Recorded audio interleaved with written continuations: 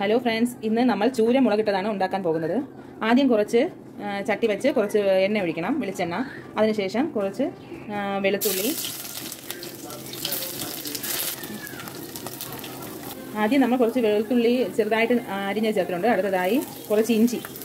ഇഞ്ചി ചതച്ച് അത് കുറച്ച് അതിലേക്ക് ചേർത്ത് നന്നായിട്ട് വഴറ്റി കൊടുക്കേണ്ടത് അടുത്തതായി ഇതിലേക്ക് കുറച്ച് ചെറുതായിട്ട് അരിഞ്ഞ് വെച്ച ചെറിയ ഉള്ളി ചേർത്ത് നന്നായിട്ട് വഴറ്റിയെടുക്കേണ്ടതാണ്.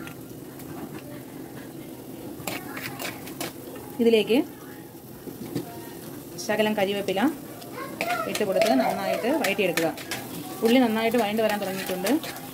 അപ്പോൾ നമുക്ക് ഇതിലേക്ക് തക്കാളി ഇട്ട് കൊടുക്കാവുന്നതാണ്. ഇതൊരു തക്കാളിയാണ് ചെറുതായിട്ട് കീറി വെച്ചത്. തക്കാളി വഴണ്ട് വരുമ്പോൾ അതിനാവശ്യമായ മുളക് പൊടി. ഞാനിവിടെ ഒരു രണ്ടര ടീസ്പൂൺ മുളക് പൊടിയും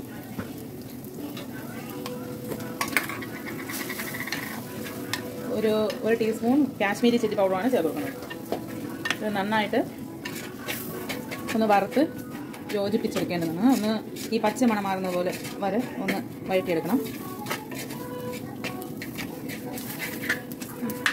ഇതിലേക്ക് ആവശ്യത്തിന് മഞ്ഞൾപ്പൊടി ഒരു കാൽ ടീസ്പൂൺ മഞ്ഞൾപ്പൊടി ഇട്ട് നന്നായിട്ട് യോജിപ്പിച്ച് കൊടുക്കുക. ഇതിലേക്ക് ആവശ്യമായ പുളിവെള്ളം നമ്മൾ ചേർത്ത് കൊടുക്കേണ്ടതാണ്.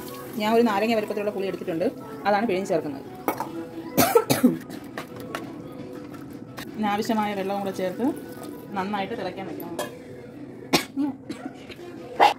ഇതിലേക്ക് ആവശ്യത്തിന് ഉപ്പും ചേർത്ത് നന്നായിട്ട് യോജിപ്പിച്ച് കൊടുക്കുക. ഇനി ഇത് അടച്ചു വെച്ച് നല്ല തിള വരുമ്പോഴത്തേ വരുമ്പോൾ നമുക്ക് ഇതിലേക്ക് കഷ്ണങ്ങൾ പറക്കിയിടാം.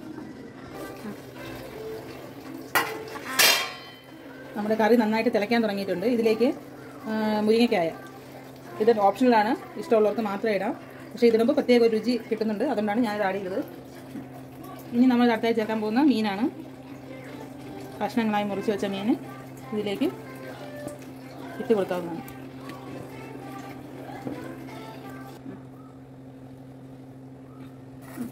കറിയിലേക്ക് മുങ്ങുന്ന രീതിയിൽ ഇതൊന്ന് ഇളക്കി കൊടുത്ത് ഇപ്പോൾ സ്പൂൺ ഉപയോഗിക്കാം. കുറച്ച് കഴിഞ്ഞ് നന്നായിട്ട് വരുമ്പോഴത്തേക്കും സ്പൂൺ ഉപയോഗിക്കരുത്. സ്പൂ ഇത് കഷ്ണങ്ങളെല്ലാം ഉടഞ്ഞു പോകും അതുകൊണ്ട് അതൊക്കെ നോക്കിയിട്ട് വേണം ചെയ്യാൻ. നമുക്ക് അടച്ച് വെച്ച് വേവിക്കാവൂ. ആ മീൻ നന്നായിട്ട് തിളച്ച് വന്നിട്ടുണ്ട്. ഇതിലേക്ക് നമുക്ക് കുറച്ച് ഉലുവ പൊടി ചേർത്ത് കൊടുക്കേണ്ടതാണ്. നന്ന ഉപ്പും എല്ലാം കറക്റ്റായിട്ടുണ്ടോ എന്ന് ടേസ്റ്റ് ചെയ്ത് നോക്കേണ്ടതാണ്. ഇതിപ്പോൾ എല്ലാം കറക്റ്റായിട്ട് വന്നിട്ടുണ്ട്. ശകലം ഉപ്പ് കുറവായിരുന്നു. അത് ഞാൻ ഇട്ടിട്ടുണ്ട്.